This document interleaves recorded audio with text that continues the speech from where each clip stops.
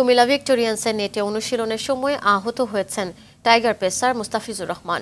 রক্তাক্ত অবস্থায় তাকে চট্টগ্রামে ইম্পেরিয়াল হাসপাতালে নেওয়া হয়েছে। জোহরামে চৌধুরী স্টেডিয়ামের নেটে স্কিল অনুশীলনের অংশ হিসেবে বল করছিলেন মুস্তাফিজ।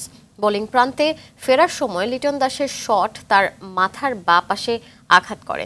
ফাটা মাথার প্রাথমিক চিকিৎসা শেষে অ্যাম্বুলেন্সে করে মুস্তাফিজকে হাসপাতালে নেওয়া হয়। পরীক্ষা নিরীক্ষার পর আঘাতের মাত্রার জানা যাবে বলে জানিয়েছে কুমিল্লা ভিক্টোরিয়ান্স কর্তৃপক্ষ। এবারে বিপিএল এ নয় ম্যাচ খেলে এগারো উইকেট শিকার করেছেন মুস্তাফিজুর রহমান।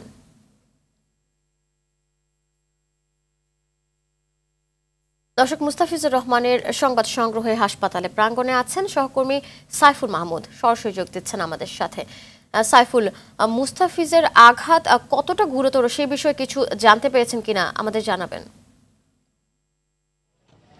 জি, আপনারা যেমনটি বলেছেন বাংলাদেশের জাতীয় দলের খেলোয়াড় মোস্তাফিজুর রহমান সকাল দশটার সময় প্র্যাকটিস করতে গিয়েছিলেন।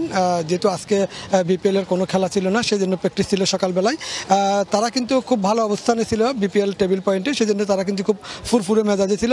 হঠাৎ করে আসলে লিটন দাসের নেট প্র্যাকটিস করার সময় বলটি তার মাথায় যখন আঘাত করে, সাথে সাথে রক্ত বের হওয়ার পর পরে প্রাথমিক চিকিৎসা শেষে তাকে ইম্পেরিয়াল হাসপাতালে ভর্তি করা হয়েছে এবং ইম্পেরিয়াল হাসপাতালে কিন্তু তার সিটি স্ক্যান করা হয়েছে। কিছুক্ষণ পরে তাকে কিন্তু এমআরআই করা হবে।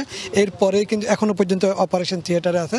এমআরআই করার পর ডাক্তাররা তারপরে সর্বশেষ কি অবস্থা সেটা বলতে পারবেন। তবে কুমিল্লা ভিক্টোরিয়ার পক্ষ থেকে কিন্তু জানিয়েছেন, তার ইন্টারনাল আঘাত কিন্তু না, তার এই আঘাতটা কিন্তু প্রাথমিক তবে খুব গুরুতর না, তবে এখনও পর্যন্ত ডাক্তারদের কাছ থেকে আমরা কোনো ব্রিফিং পাইনি।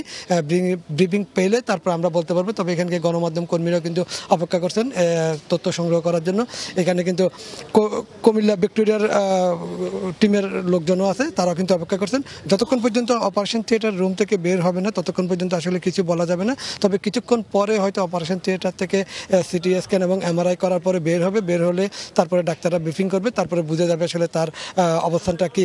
তবে ধারণা করা হচ্ছে তাকে ঢাকা নিয়ে যাওয়া হবে, এটাই আমরা যতটুকু শুনতে পেলাম।